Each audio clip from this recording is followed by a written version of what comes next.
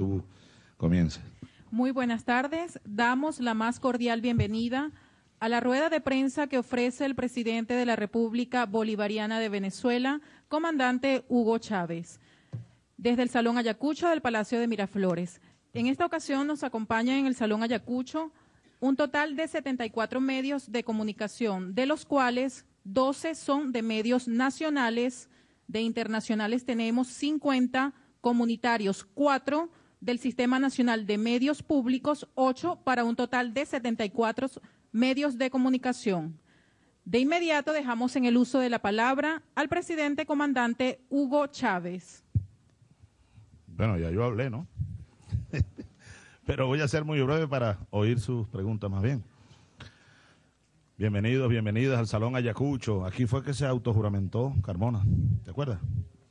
Ustedes vieron esa imagen, fue aquí, cuando él levantó su mano derecha, ¿no fue? Yo no sé qué más, juro. Y esto estaba lleno, ¿no?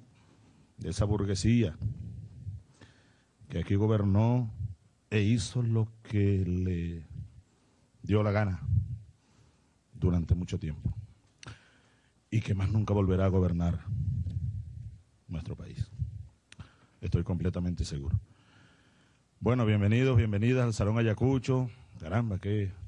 ¿Cómo fue que dijo Nicolás? Enjambre, ¿no fue? Enjambre, enjambre en positivo.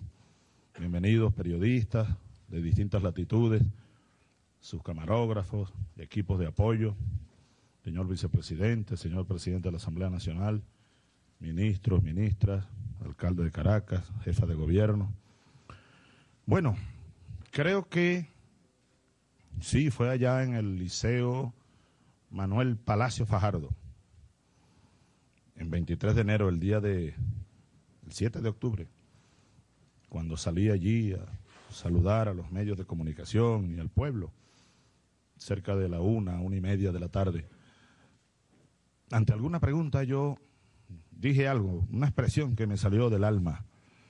Si alguien quiere ver una democracia vigorosa, sólida, venga a Venezuela. Fue una pregunta que, tú me hiciste. Ah, no recuerdo la pregunta, pero... Ah, ah, ya recuerdo. Tú eres argentina. Argentina porque era difícil, tan difícil transmitirle al mundo que aquí lo que hay es una democracia, pues. La dictadura mediática, como dijo o dice y explica en una de sus obras Ignacio Ramonet. Bien, entonces si alguien quiere ver, como dice la Biblia, el que tenga ojos que vea, el que tenga oídos que oiga, pues. Así que esa expresión que hiciste tú con tu pregunta que surgiera de mi alma, bueno, se ha, quedado, ha quedado eh, brillantemente conformada, consolidada, demostrada en esta jornada del 7 de octubre. Creo que ha sido una jornada impecable.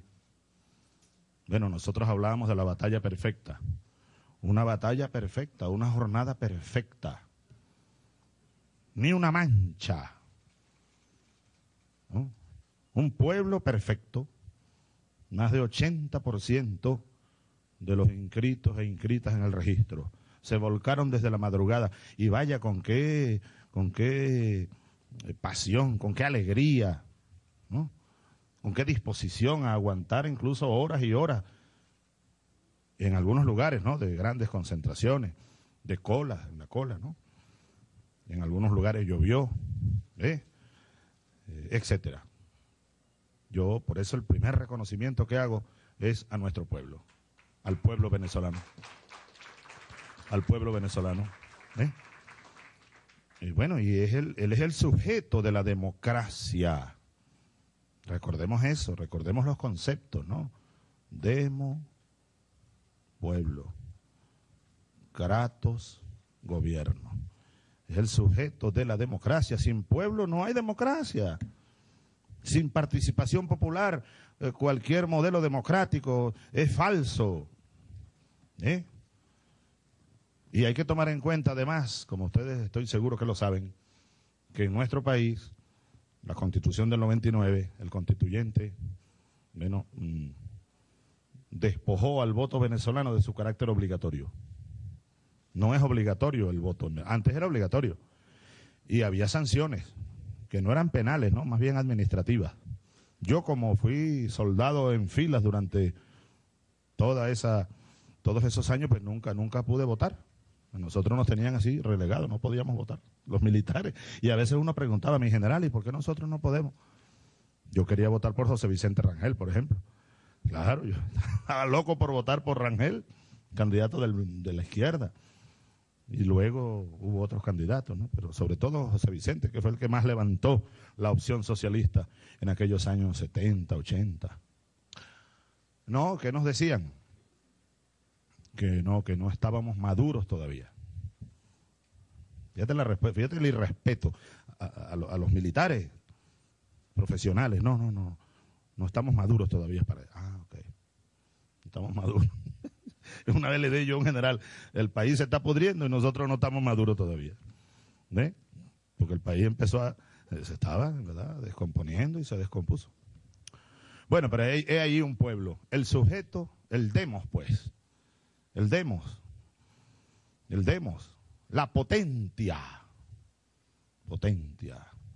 Diría algunos de los teóricos que y filósofos, ¿no? Que han desarrollado el tema del, de la democracia.